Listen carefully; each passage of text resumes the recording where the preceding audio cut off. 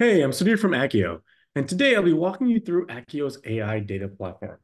Akkio is built for marketers and agencies, making it easy to predict outcomes, optimize for any KPI, and even white label or embed our tools into your existing platform. So let's dive in. Let's walk through how you can quickly connect your client data and significantly speed up data preparation and transformation using natural language.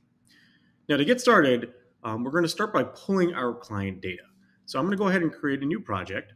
And in here, we have the ability to natively integrate and bring in data from different sources. So for example, if we want to bring in data from data warehouses like Google BigQuery or Snowflake, CRM such as Salesforce or HubSpot, um, or even Google Analytics 4. Now, once you have your data source selected and configured, we can go ahead and start analyzing our data. So what I'm going to do is open up a data set where I have already imported that marketing campaign data set. Now, this is a publicly available data set, it's a dummy data set. And we have information here, for example, about each campaign type, their placement, their device, the actual ad type, some time information, as well as information about the performance. So their spend, impressions, views, clicks, and conversions. Now, there's going to be some additional analysis that we're going to do. However, the first step is going to be cleaning that data, right? Preparing the data. Now, in this particular data set, it's already pretty clean.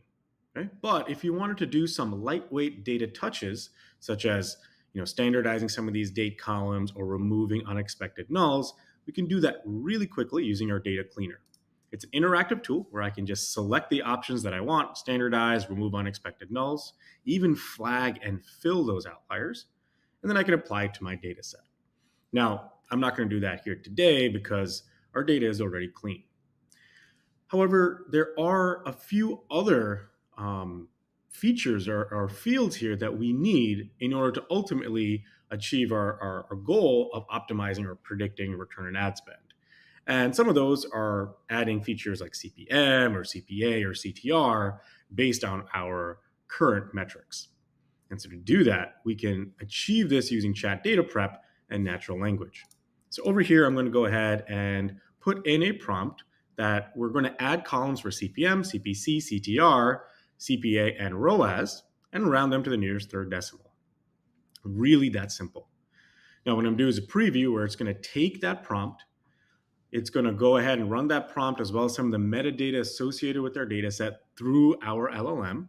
And it's going to give us an interpretation, right? What analysis is it going to do to the data? All right, so now we got our interpretation, right? So what this is doing is it's transforming our data set to add CTR, CPA, CPC, CPM, as well as ROAS. Right? We can see a little preview of that data set here.